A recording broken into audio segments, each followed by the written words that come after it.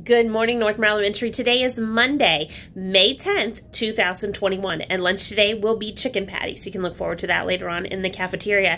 Hey, does anybody know where lizards go to fix their uh, broken tails? Hmm, the retail store. I think I've used that one before, but I think it's cute. Um, my quote today is People will forget what you said.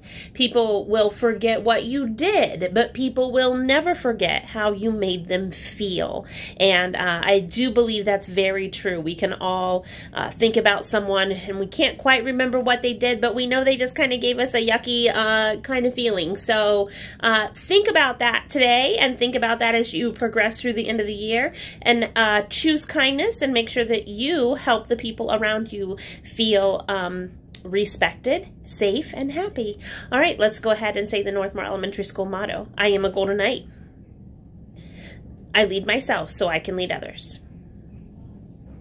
I am respectful, responsible, safe, and compassionate.